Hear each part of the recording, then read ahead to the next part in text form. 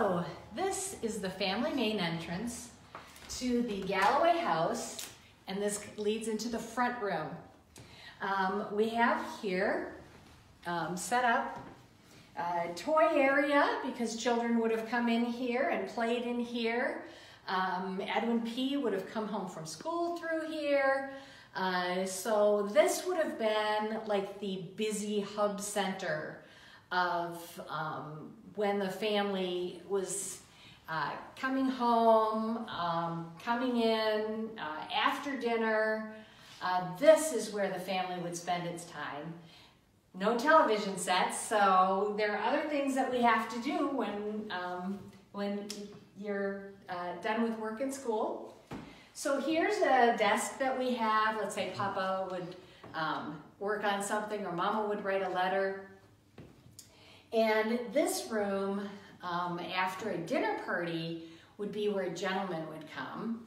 And here we've got it set up away from the children's hands is uh, the brandy for the men. Um, we also have a piece here.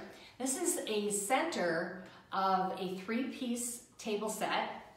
This is a leaf, and it comes up, and we have an uh, an end here, there's another leaf and another end, and we'll show you the ends. We've got them all in the same room um, because then uh, we could move some furniture around and, and make um, a really large table. Uh, so no TV, well, maybe we'll play some music.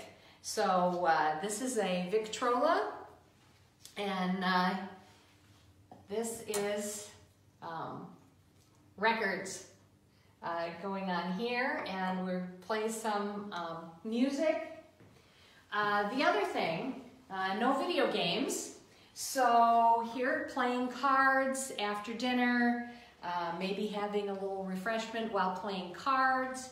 Um, it was very common in the Victorian era to have more than one seating area in the same room uh, because families were large. Um, so you might have, um, after dinner, neighbors might come by and drop by and you're playing cards together. That was a, a normal nightly thing.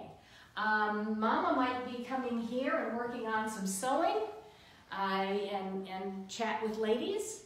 Uh, so um, there, there's, it's very common uh, to have um, lots of people be able to be in different seating areas. So here we have one of the ends, and this would connect to that leaf. Um, and here is a treasure that we found.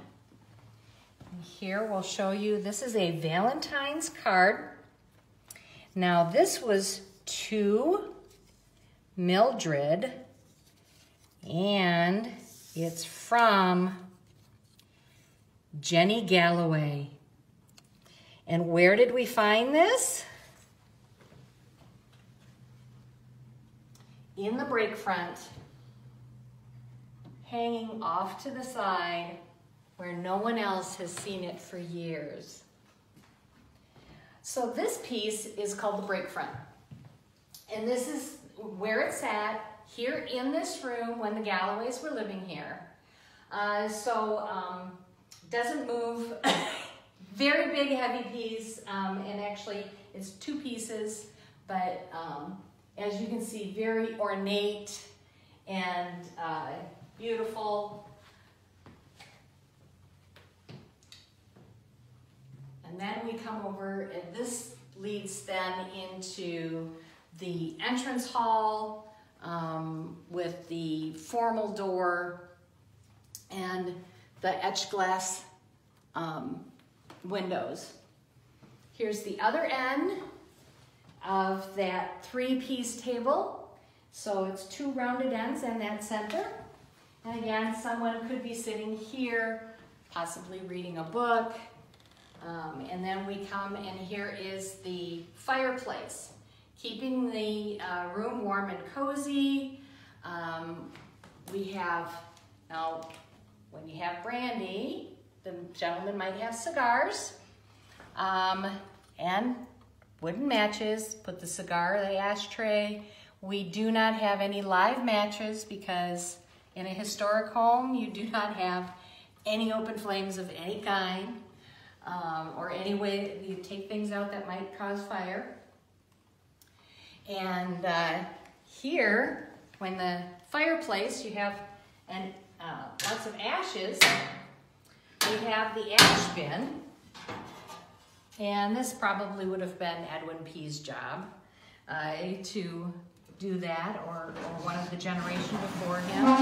And this is awesome because here's a second handle for when you do go and empty out the ashes. And then we have other pictures of the family. We had gone over in uh, previous videos about Edwin P. donating, um, Clarissa Galloway, uh, Edwin P.'s wife Genevieve, his mother Carrie, um, and here is a picture of the family at what they call the summer house, or what we call or refer to as the gazebo. And here we'll end our journey through the front room.